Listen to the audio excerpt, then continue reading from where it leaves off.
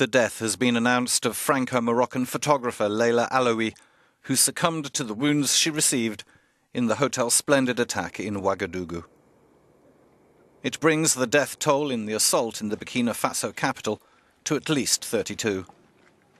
Al Qaeda has also published the names of the militants it says carried out the attack. They all died, and on Tuesday, Benin's president joined his counterpart in a visit to the scene of the atrocity. One person who survived was Clement Giguende, who was on a normal work shift in the Cappuccino Cafe when bullets began to fly. We stayed behind the bar and the attackers returned to kill the wounded. As soon as they finished shooting, they set the building on fire. I got out through the bar. I crawled, I crawled. I even had to get over a dead body to reach the door. Clement knows he was extremely lucky, but Alaoui's death while on assignment for Amnesty International has shocked the artistic and international aid community.